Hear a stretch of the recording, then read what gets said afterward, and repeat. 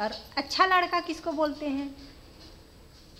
जो शैतानी ना करे एकदम अच्छा दिखता है धूल वूल में नहीं खेलता हम्म, उसको बोलते हैं अच्छा लड़का।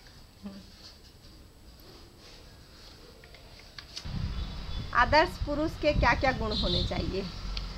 आदर्श पुरुष जो महिलाओं की इज़्ज़त करे हम्म, हर महिलाओं की अपनी खुद की पत्नी की इज़्ज़त करे और उनको मतलब कि समाज में अच्छे से रहने का समाज में अच्छे से जीने का अवसर दे, खुल के जीने का, ताकि रोक टोक ना करे, पाबंदी ना करे, धूम्रपान ना करे, शराब वगैरह ना पिए। सबसे पहले तो हम्म। अच्छा बेटा बने अच्छा पति बने अच्छा पिता भी बने है नहीं? कि वो अच्छा से काम कर ले अपन परिवार के अच्छा से भरण पोषण करे। बोला ही आदर्श पुरुष मान थे। काम करत थे ओकर बदला थोड़ा बहुत पी ली सब आके चुपचाप घर में सो गए। तो उनमें का प्रॉब्लम है है नहीं? अब वो हम सब ला तो ये नहीं बोल सकन कि ये खराब चीज़ है तब मत पी। वो ओला तो ओकर में से आदत पड़ गई है हम्म। तो कहाँ छुड़ा पावे नहीं। हम्म।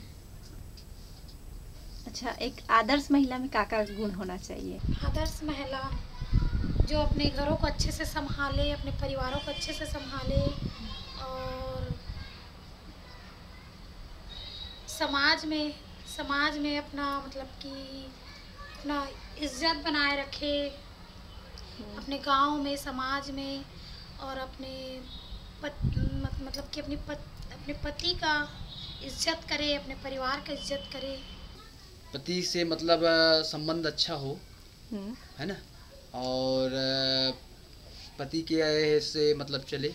ऐसे नहीं कि मतलब मैं भात खा देखा हूँ महिला होती चल दे है या तो फिर अपन खाना बने से अपन पहले खाली से मैं नहीं खाए हूँ। हम्म, है ना। तो ये सब गुण होना चाहिए। सामाजिक कोई एम जाते हो तो वहाँ पे मतलब न्याय सही होना चाहिए आपका, निर्णय सही होना चाहिए। भाई, आदर्श आदर्श दिखाना आदर्शता मतलब प्रदर्शन ये दिखाना है। तो ऐसे नहीं कि कोई गलत किया है, उसका साथ लेके आप उसके चिल्ला रहे हो, उसके मतलब पक्ष में बात कर रहे हो तो ये गलत है ना। आप सच्चाई में रहो ना। सच्चाई में रह के न्याय करो, सच्चाई में रह के मतलब करो, तभी वो, ये होगा। अब अब आप गलत किए हो उसको शिक्षा मतलब साथ दे के उसका मतलब ये कर रहे हो हम्म। तो ये गलत है ना? तो फिर आदर्शता कहाँ गई उसमें? कहाँ से आएगी? नहीं आएगी। सुंदर लड़की किसको बोलते हैं? जो जो ब्यूटी पार्लर जाती है हम्म। बहुत फ़ैशन करती है हम्म, उन और जो कार चलाती है हम्म, जो सिलेक्स और बॉयज़ लोगों का कपड़े पहनती है हम्म, खुला बार लग, रखती है। हम्म, उनको बोलते हैं हम्म, खूबसूरत। सुंदर महिला लंबी हो हम्म। पतली हो जिसका बाल लंबा लंबा हो गोरी हो आँख बड़ी बड़ी हो और गोल चेहरा हो वही सुंदर महिला है। और दिखने में बहुत सुंदर हो। सुंदरता को लेके क्या है उसका चेहरा ही देखा जाता है है ना? लेकिन देखने वाले चेहरे को देख के ही मतलब जैसे शादी करता है हम्म, तो वो बाद में पछताता है क्योंकि उसमें केवल चेहरा ही मतलब आईना ही उसका मतलब सुंदर खूबसूरती देख कर ही वो शादी किया हम्म, और बाद में ये पछताना पड़ता है कि न उसको रांधने आता है न काम कुछ का घर का काम काज करने आता है न कुछ बोलने आता है न ढंग से कपड़े पहनने आता है तो फिर मतलब क्या है? हम्म, तो मेरे कहने का मतलब ये है कि सुंदरता के साथ साथ हम्म, है ना? खूबसूरती के साथ साथ काम काज भी होना चाहिए। हम्म। उनमें अच्छाई का गुण होना चाहिए। ऐसे नहीं कि मतलब सुंदरता दिख रही हो और इधर उधर टहल फिर के किसी के साथ मतलब ये करके आ गए और मतलब दिखाने से ही नहीं होता। हम्म, तो मेरे मतलब मेरा ये विचार है कि जब भी लड़की देखने जाएँ तो सुंदरता के साथ साथ उनके गुण और अच्छाई को देखकर ही परख करके ही शादी तय करें। दिखने के लिए क्या क्या लगाती है? ब्यूटी प्रोडक्ट्स अपनाती है। लेकिन वो कुछ ही दिन के बाद ना हम्म, वो पिंपल्स आ जाते हैं उनके चेहरे में।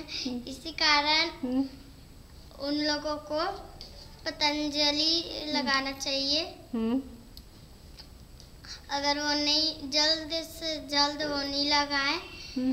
तो उनका बहुत सारे पिंपल्स आ जाएँगे। सुंदर दिखने के लिए क्या क्या चीज़ अपनाया जाता है? क्रीम।